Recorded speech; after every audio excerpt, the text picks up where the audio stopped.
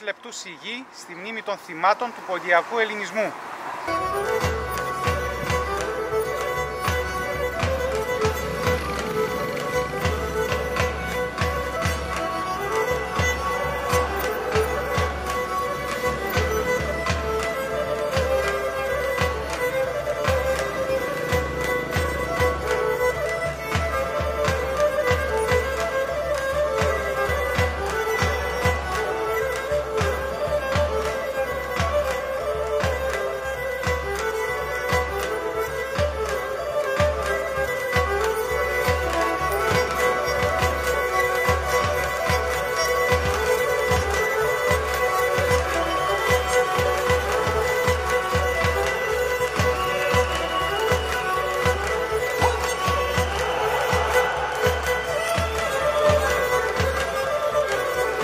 Κάθε χρόνο τιμούμε ε, μαζί με λέσβιους, ε, ντόπιους ε, νησιώτες. Φέτος ε, τελέστηκε το μνημόσυνο στη Ζωδόχου Πηγής στην περιοχή της Βαριάς με τον Πάτερ Κομνό και Πάτερ Αντώνιο.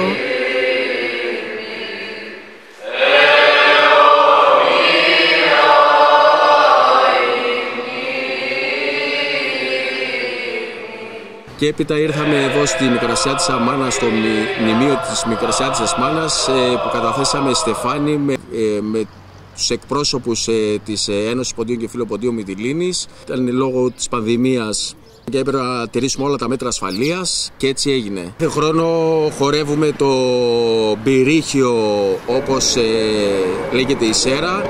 Είναι ο χορός των ανδρών. Χορεύουμε με την ψυχή μας για να φωνάξουμε δυνατά την ε, όχι πια γενοκτονίες, ε, δεν ξεχνάμε, απλά τιμούμε.